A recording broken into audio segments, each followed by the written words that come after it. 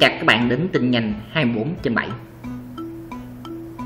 Một sở thị Honda Bzip 110 2020 ra mắt cái gì mà mới, gây choáng cho người xem.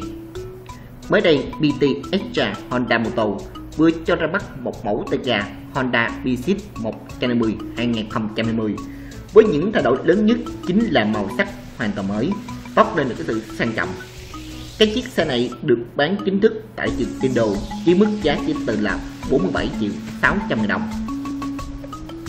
Thiết kế của chiếc Bixit 110 2020 gây ấn tượng với cái chữ V ở mặt trước của động cơ, phản ánh ấn tượng của sự cao cấp. Đi cùng với đó là sắc màu vàng đen đầy sang trọng. Cái mẫu xe tay ga thể thao hoàn toàn mới này rất là hoàn thiện với tất cả như đèn pha, đèn dừng, đèn báo rẽ, đèn định vị bằng cái nguồn sáng LED. Honda Bzip 110 2020 đã dùng cho mình chìa khóa thông minh của Honda Smart Key. Mẫu xe này còn rất biết cách chiều lòng người sử dụng khi có một cái khoang cốp hành lý thể tích lên tới là 28 lít, có thể trước cái mũ hiểm là toàn đầu mặt tiêu chuẩn.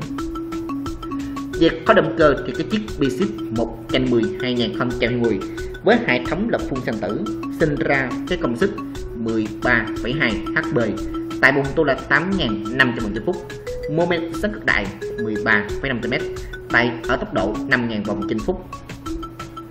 Các chiếc Honda Bzip 110 2010 được bán chính thức tại trường Indo với mức giá lần lượt rơi vào khoảng 29 triệu 509 ngàn AB tương đương là 47 triệu 600 ngàn Việt Nam.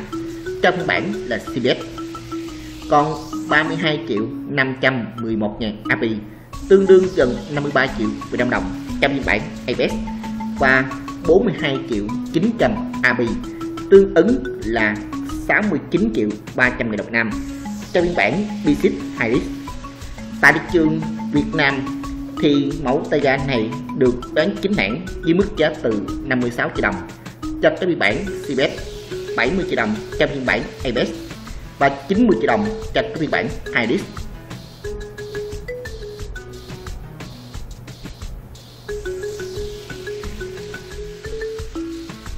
Cảm ơn các bạn đã theo dõi clip này. Tiếp nhớ like và subscribe.